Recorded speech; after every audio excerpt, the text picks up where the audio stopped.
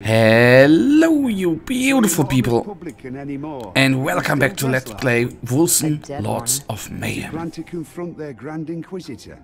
There. Heimlock works for the Covenant of the Blind and Ahriman. Probably always has. He's as much a Republican as I am now. If stories about him are true, I hope you don't cross paths with him. For your sake. I know what to expect now. Okay, then let's talk to Valeria. So this is it. We march to war. Against the Purifiers, against the Covenant of the Blind, against Fury itself. Looks like it. You know the plan? I know their plan all right.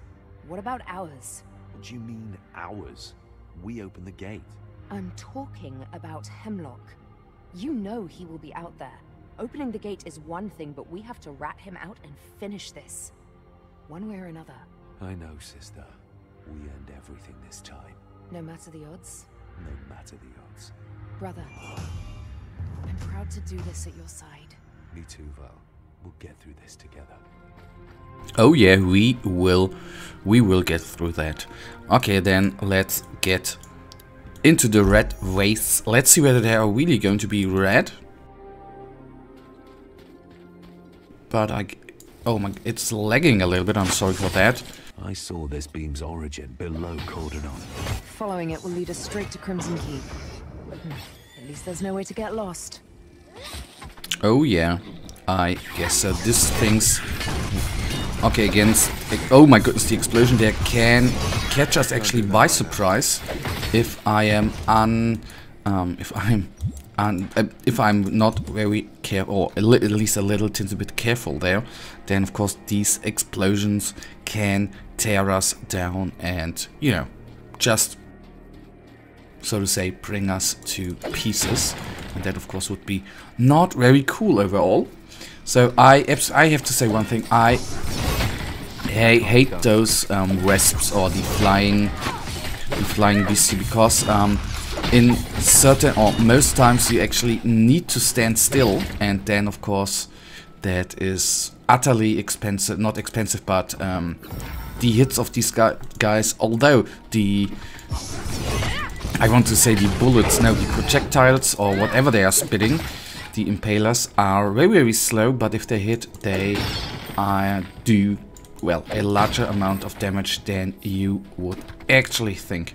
That is the weird part about them. But anyhow, I don't even know why I'm talking about that. Wonderful landscape again. I think that is the very, very great part in this game that it looks absolutely amazing. Um, the CryEngine, of course, is a very good...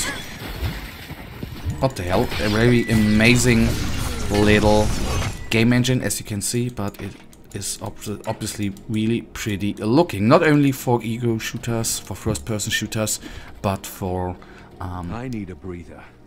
but for um, RPG games as well, as you can see. Never thought that that was at one point coming, that a RPG game would use... Uh, choose one item... Um, would use that game engine. Very, very amazing. That, that the same thing what was um, that surprised me there. That in the end, FIFA, the FIFA game uses the Frostbite engine, which was the engine of the one of the Battlefield series. At least I don't know whether from the beginning, but at one point. So I always thought that this was used for ego shooters, FPS games only. But I was then proven wrong many, many times there.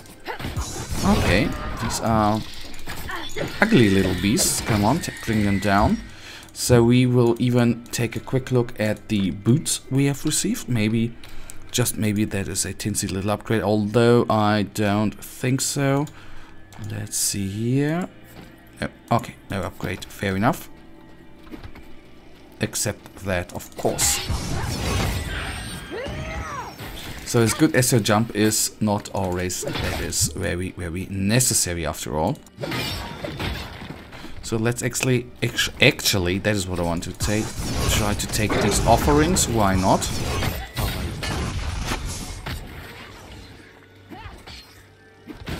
Come on, where are all of them actually coming from? I didn't even I did at least not pull them and I did not see them to be honest. Okay, Warhammer taken. I can I can go through. Yeah, I know there was a dead body which will drop some loot to us. That will of course do very very fine. Okay, gauntlet picked up. Oh my god. That is absolutely... And that is even support 1 for critical hit chance. That of course is great. Uh, support 3. Oh my goodness. I can't decide. Support 1 as well. Elemental resistance, material... Rage regeneration on hit, force field regeneration, material alignment, oh, 1 to 8, oh, to spells, okay. And this is to attack, so I'll right now, guys, go with this one.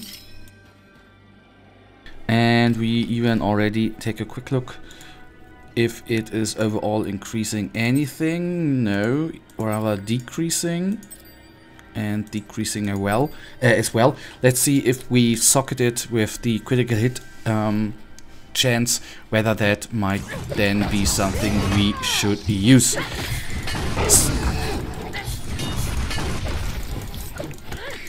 So always obviously worth to take a look at them shrines. I know it's right now not particularly necessary to take a look at those or to take those legendaries, but we have the chance then why not? Um, I mean that would at least th th there is one more enemy coming, the end boss will come, it will definitely come, and at that stage it, I think, is good to be um, prepared and that would save me the session before the recording where I farm 3-4 hours and then go back in the game. If Heimlock's possessed, you think we can still save him? He is not possessed. Small difference. I disagree. He willfully put himself in the service of Ahriman. I don't see why he would do that, but he did. There is no saving him from himself, is there? Frankly, I don't know. We have awakened his will to resist. He's fighting back against Ahriman's control, even if that does bring him immeasurable pain. Maybe we should assist him to break free, rather than put him down. He turned Edric against you. He abandoned me when he could have stopped Malus. Even if we could bring him back, I'm not sure I could forgive what he did to us. You judge the Grand Inquisitor. I see a prisoner of his own mind striving for moments of freedom. Would you have done any better? Would I? I wouldn't have made a pact with Ahriman in the first place. But I get your point. Yes, he definitely has a little point there. And anyhow, they are family.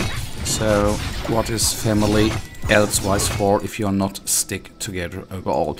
Okay, guys, that, sadly enough, right now already... No, we still... No, I think we still got a minute.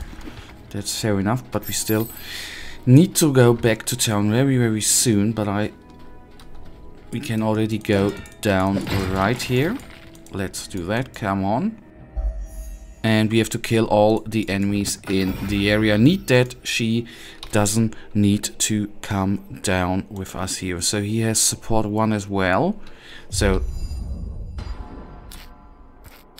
Um, okay, let's use the town portal.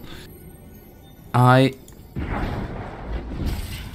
In the end, would wonder and laugh a little bit if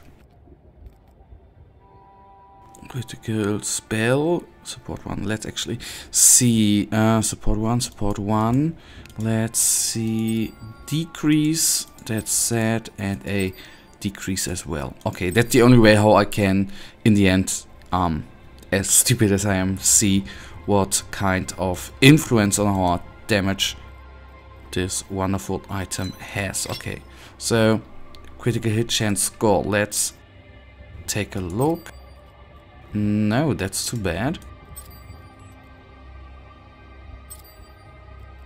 Okay, so that was nothing. But guys, that right now leads us already to the end of this episode, and you know it. I, as usual, really, really thank you for watching. If you guys actually do have enjoyed this episode, then please guys give me a little thumbs up and subscribe and hopefully and hopefully I'll see ya in the next episode. Until then, have a nice day, stay frosty. Bye.